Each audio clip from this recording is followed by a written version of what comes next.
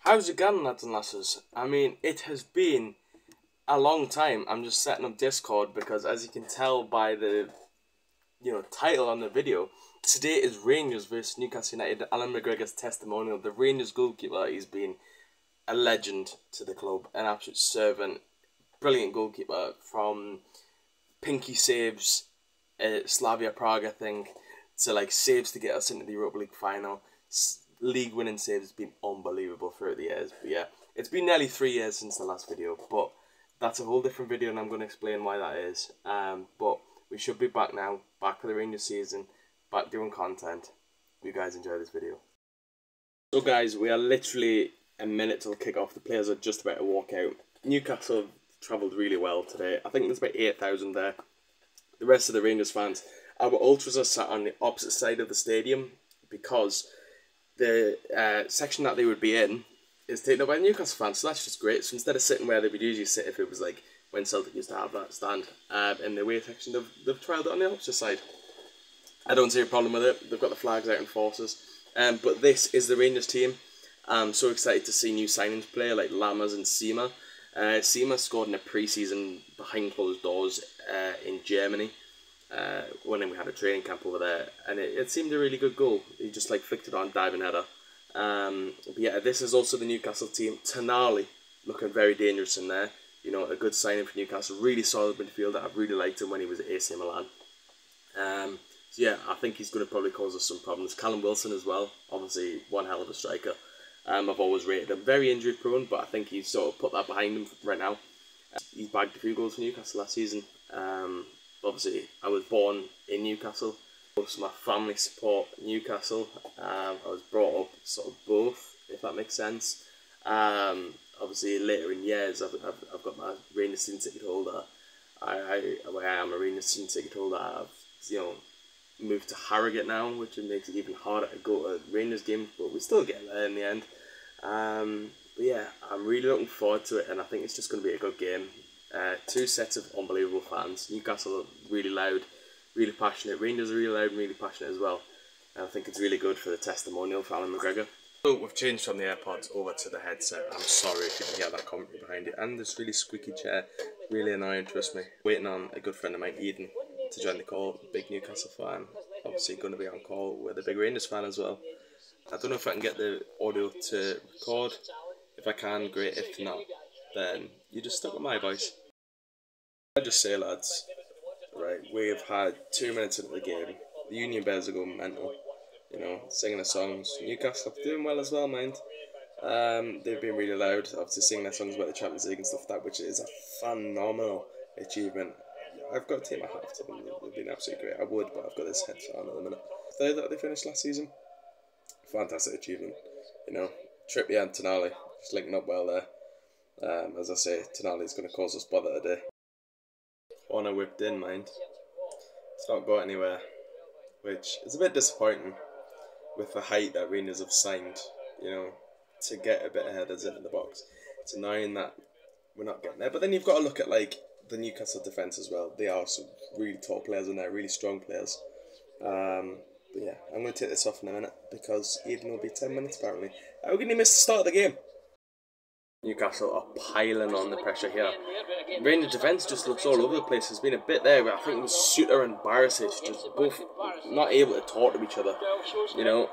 And it's just like, oh, just get it out. And obviously, Trippier, right back, he flies up that wing as if there's no tomorrow. It never looks like he's breaking sweat. Um, we managed to get away. I think that's Botman on the ball now. 14 minutes in, just going on 15, still nil nil. Newcastle are just so deadly in possession at the minute. Went wide. 1 0 Newcastle. It's a well worked finish. It's Miguel Almiron, you know. Well worked finish.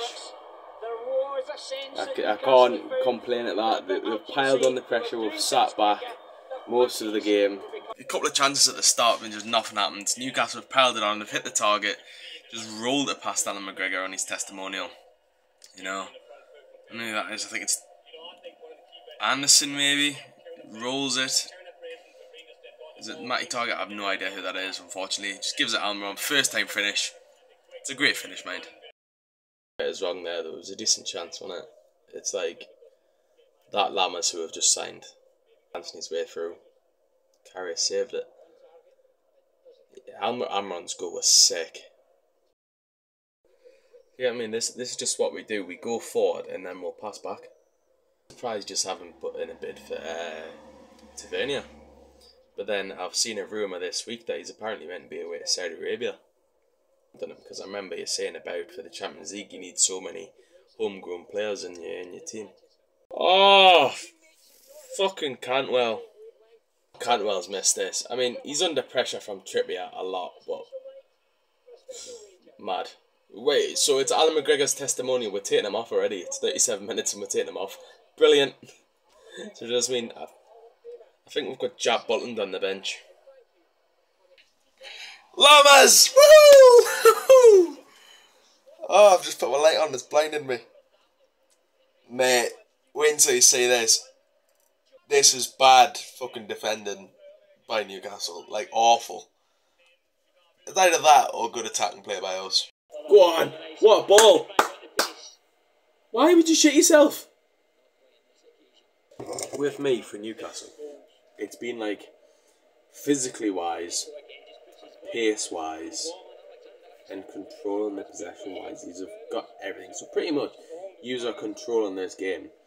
Apart from like, if we get it in the final third, we look dangerous. We just don't know what to do with it. Alex Lowry coming on for Rangers instead of well taking off Tavernier.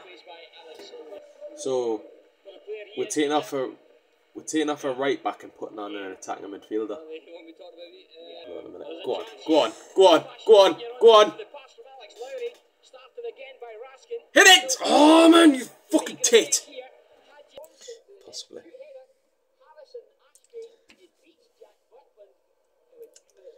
Think it's you know that Harrison Ashby that he's signed from West Ham.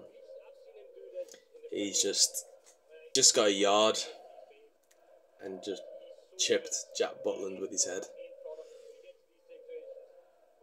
It's a good finish, mind. I think this is how it's going to end. It's only been a minute and a half. That's it.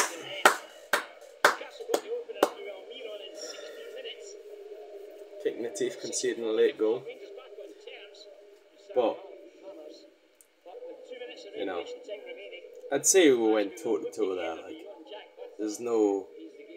It wasn't like a, a hammering or anything like that. It was yeah, it wasn't a whitewash. It wasn't a hammering. It was a, you know, two two quality finishes by Newcastle. Absolutely two fantastic ones. Almiron's at first, you know, just rolling it in, and then Ashby's header. He just gets a yard, and you know, that's all he needs. But um, yeah, see what happens. Okay, guys, so it is the next day. Um, I just wanted to sort of have a recap of things that have happened in the game. So, positives to come out of the game, not much. Um, as Newcastle fans, as Rangers fans, the football standard wasn't the best last night. Um, from a Rangers point of view, maybe that the fact is that Sam Lammers got his first goal. You know, really good reading the ball there, managed to win it back and scored his goal really well. Um, from a Newcastle point of view, from when I spoke to some friends, obviously it was shit that they couldn't get a drink inside of the ground, which obviously in Newcastle you can. In Glasgow you couldn't. Football wise, obviously Harrison Ashby, who you know you, he doesn't get a lot of game time for Newcastle. Him coming on and you know getting a goal against an experienced goalkeeper like Jack Butland, um, and he took his goal really well. As I say in the in the video, you know all he needs is a yard or so, and then that's it. It's in the back of the net. Um, but I hope Newcastle fans had a really good trip um, to Glasgow. You know, it's been it was a really good atmosphere from what I've seen on the telly.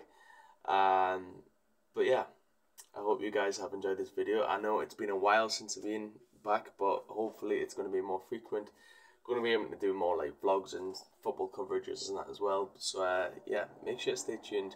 Maybe not match day vlogs, but you know some covering on vlogs, just what's happening in life. But uh, yeah, make sure to stay tuned, guys. And I hope you guys have enjoyed it very much, as much as I have watching it from both sides as well. So I'll see you in the next one.